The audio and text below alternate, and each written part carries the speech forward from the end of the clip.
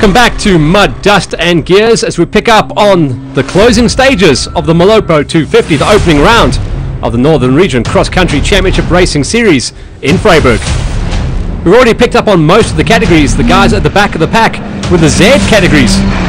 And these had seen a huge attrition rate. The Z9 of Hodgman and Strauss was still in the mix and only just as well. Some body panels starting to hang off the Nissan Hardbody they had really been in the wars and had to fight hard just to stay within the time bracket. Some fairly obvious transmission problems there. It would be nail biting to see if they could make it to the finish line and that within the time bar bracket. For now, the Z9 was trucking on.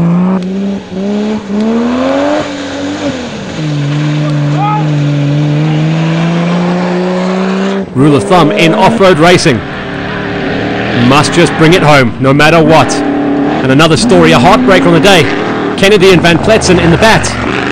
The former Gibson race vehicle, a flat front right-hand tyre, and they were limping it home. No such problems though for our flag-to-flag race leaders. The Alfa Duster of Johan van Staden and Mike Lawrenson. First to see the flag in 2018. A classy drive and showing that all that development that they put in over the last 14 months on the Alfa Renault Duster is starting to really pay off as they head to Dakar. We said this was going to be a threat on the day, and they proved us right.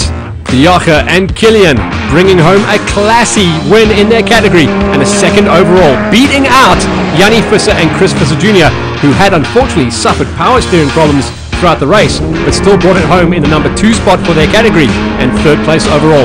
Francois van der Walt and Ferry Prinsloo had, as I'm famous for saying, ploughed the field and brought home an incredible drive, making the most passes over any other car on the race. Malcolm Cock and Sean Van Staden, a new pairing, had lined themselves up early in the morning and were happy to bring it home. Keith Toy and Robbie Coetzee walked away with the first of the special vehicles and the Bat had had an incredible drive. Meanwhile, out there on the track, two of the surviving Invitational cars were getting the job done.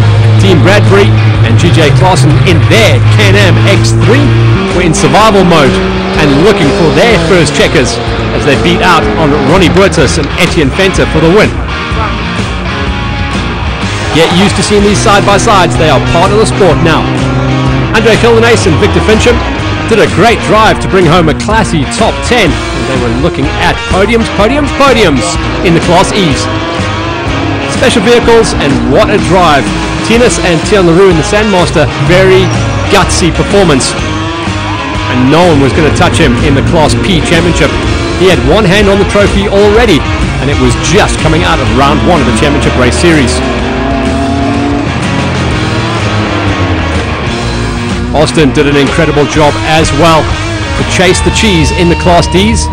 They also squeaked inside of a top 10, ninth place overall in fact, and beating out on Diedrich and Rickers Hutting on the D67. So by now, all cars on track. We're bringing it home for the final time of asking and looking forward to drawing a line under round number one. An incredible day of racing at Vryburg and the Vryburg Motor Club delivered the goods once again to start things off for an epic 2018 championship chase.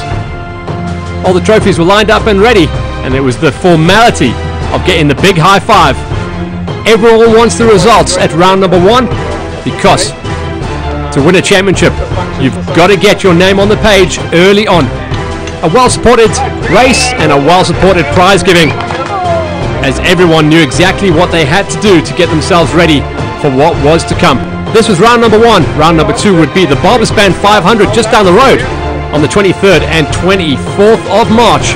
So for now, it was a little bit of cleanup, maybe the odd rebuild, but everyone knew exactly what was coming down the road. A couple of new names as well coming into the mix.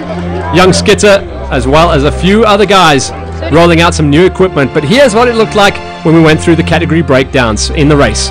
Class P was all about Tinas and Tian Leroux in the Sandmaster. They got the win over Tony and Mikey Gavea in their CRT. In the Class E productions, Rodney Cook alongside Jaco Skitter took their first win ahead of Gildenhuys and Fincham, with Duplessis and Vermaak rounding out the top three in their Isuzu. Class D had Van der Waals and Prinsloo in the Toyota Hilux, winning out ahead of Jaco and Johan Visser, and Van Wyk and Marais rounding out a top three, and a Toyota lockout of the podium. In the overalls, it was Francois Van der Waals and Kerry Prinsloo who walked away with the big win ahead of the Vissers, and Van Wyk and Marais just beating out on Cook and Skitter. In the Class X, Diaka and Killian, a classy drive to beat out on the Fissers and the Coetzers.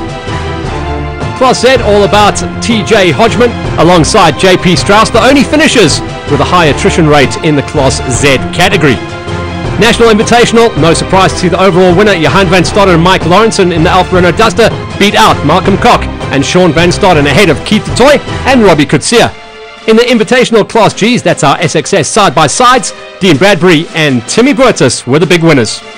So that's it. Round number one is in the bag and in the can, and everyone is now thinking about round number two. We'll be bringing you all the action, and a big thank you to Max